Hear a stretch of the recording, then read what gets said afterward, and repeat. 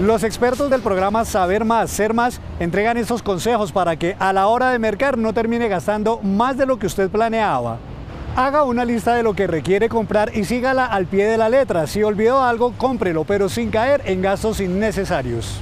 Permanezca solo el tiempo necesario en el supermercado o centro comercial. Quien pasa más tiempo mirando promociones o novedades termina comprando lo que no planeaba. Administre su fuerza de voluntad. Los antojos que compra en cuestión de minutos pueden terminar afectando sus finanzas por mucho tiempo. Es efectivo llevar un control de lo que va gastando, pues eso ayuda a tomar conciencia de cómo gasta su dinero. Consiga un supervisor, un familiar, un amigo o su cónyuge son ideales para que le hagan entrar en razón cuando esté gastando de manera desmedida.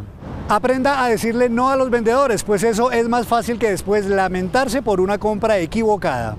Útil y rápido para tomar mejores decisiones.